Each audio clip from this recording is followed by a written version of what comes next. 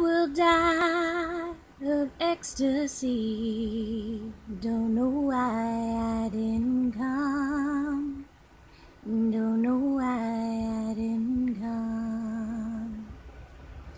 This is a license plate uh, from when I was seven years old. Uh, I was given to it as a party favor, a fake license plate. They used to do the New York uh, City license plates like this with the Statue of Liberty on it.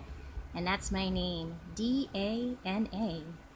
Uh, and I got it at some uh, friend's brother's uh, bar mitzvah that was held at a Tavern on the Green, where several years later Woody Allen shot Celebrity, the movie in black and white. So this is a memory from Seven, a fake license plate party favor.